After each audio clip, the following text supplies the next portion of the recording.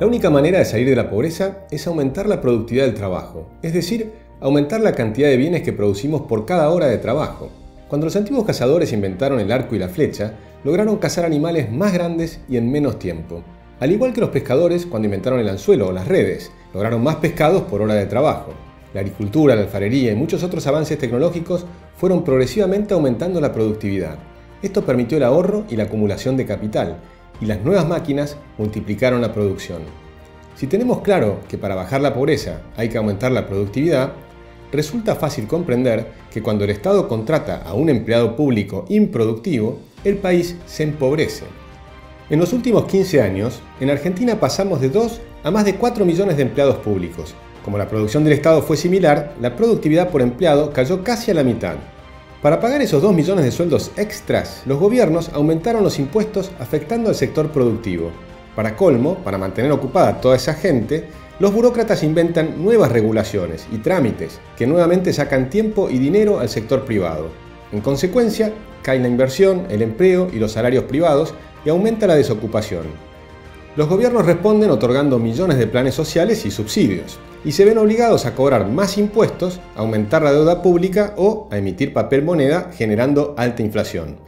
Al endeudarse en exceso, el Estado desplaza del crédito al sector privado, aumentan las tasas de interés y el riesgo país, agregando nuevos costos a las empresas que entonces producen menos y pueden pagar menores salarios. Si sube la inflación, cae el salario real y genera ineficiencias a las empresas que reducen nuevamente la productividad. Existe otro factor que también afecta a la productividad, el exceso de regulaciones laborales y los sindicatos, que actúan en contra del progreso, empeñándose en frenar los avances tecnológicos. Suelen estar en contra de Uber, del web check-in, del telepeaje, de los cajeros automáticos en los supermercados y de toda máquina que aumente la productividad. Así frenan la principal causa del aumento de los salarios reales. Les doy un ejemplo. El gremio de camioneros se opuso al envío de facturas de servicios y resúmenes bancarios por la vía digital, en sustitución del papel y del correo tradicional. Así, con una visión parcial, se pretende mantener trabajos y costos absolutamente inútiles. En este caso, las personas que cortan los árboles fabrican el papel y la tinta, las que imprimen, al igual que las que transportan la carta para entregar la factura en mano, siendo sustituibles por un algoritmo matemático que envía la carta por email a ínfimo costo, todas estas actividades tienen productividad cercana a cero. En muchos países como Argentina o Venezuela, los sindicatos toman medidas de fuerza para preservar las fuentes de trabajo, o sea, los trabajos improductivos.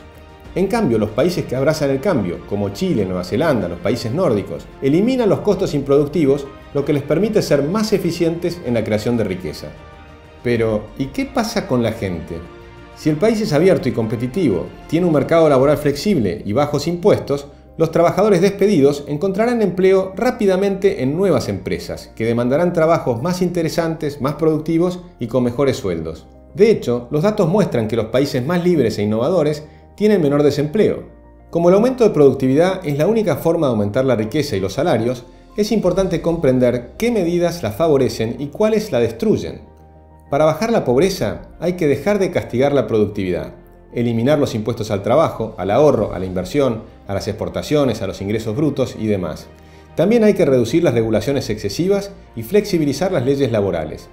Pero también debemos dejar de fomentar el trabajo improductivo. Eliminando los planes descansar y en el sector público podemos duplicar la productividad traspasando la mitad de sus empleados al sector privado, mediante un plan de transición que les dé tiempo para encontrar nuevos empleos y el Estado puede ayudar con exenciones impositivas a las empresas que los tomen. Solo si hacemos estas reformas, Argentina volverá a estar entre los países avanzados y con mejores sueldos del planeta. Si te gusta este video, compartilo y sumate a Libertad y Progreso.